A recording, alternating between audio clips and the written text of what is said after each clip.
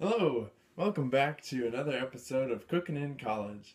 Today I'm going to be showing you how to make a super fantastic, very exciting, and delicious deep fried Nutella dipped banana. Let's get started. The first thing that you'll need for your Nutella battered deep fried banana is a banana. Any ripeness will do. Actually, if it's a little green, it'll probably uh, deep fry a little bit better just because it's a little more starchy. But this is what I have on hand, so we'll see how that turns out. Second, Nutella. If you don't have that, try chocolate syrup. That might be good. Uh, next, you're going to need some sugar, a quarter cup, some vanilla, an egg, some all-purpose flour, some cornstarch if you want to add a little bit of a crunch to the breading of your your uh, banana.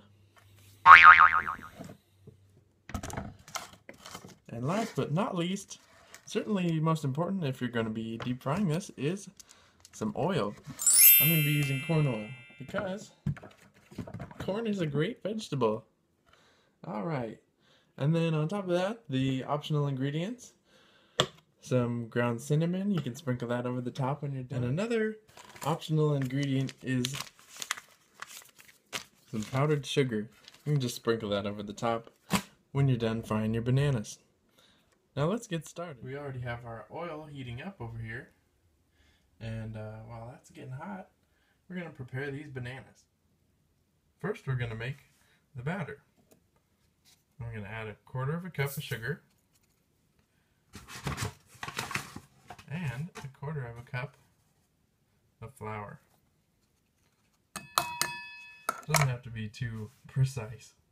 Next, I'm going to add one egg.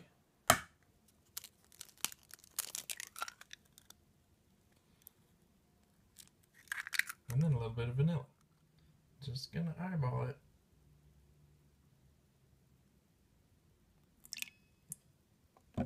That's probably way too much, but that's okay.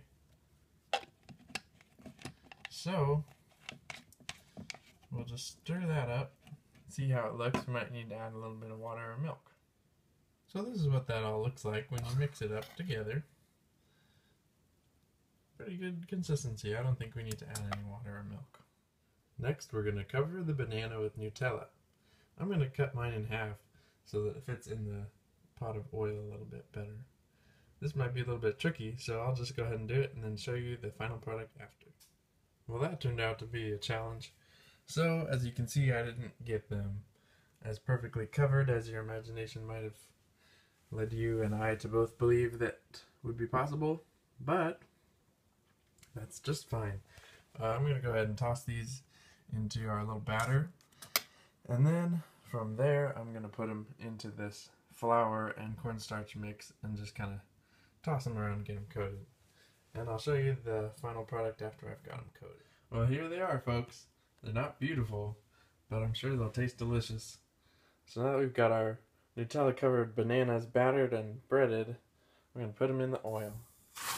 Woo, look at that.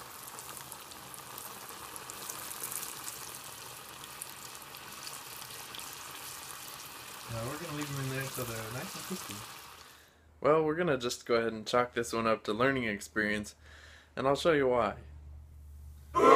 so, uh, apparently, I don't actually know what happened. Just something with the oil was pretty darn hot, and uh, cooked faster than I thought, and the Nutella kind of burnt like crazy. So we got this nice black burnt sugar, and then I just tossed, tossed these over onto the cast iron real quick just to get them out of the oil.